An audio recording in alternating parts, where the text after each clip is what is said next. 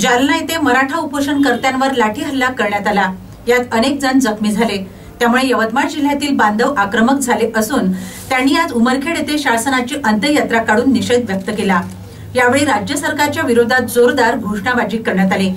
आंदोलनात परिसरातील मराठा समाज बांधव मोठ्या संख्येने सहभागी झाले होते.